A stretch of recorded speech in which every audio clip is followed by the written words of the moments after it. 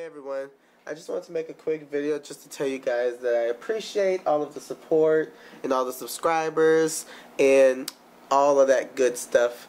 But I just want to let you guys know that right at this very moment I am um, slowly creating more creations on the game. It's just that the game has um, not allowed me to upload logos for some reason anymore, so that's been delayed.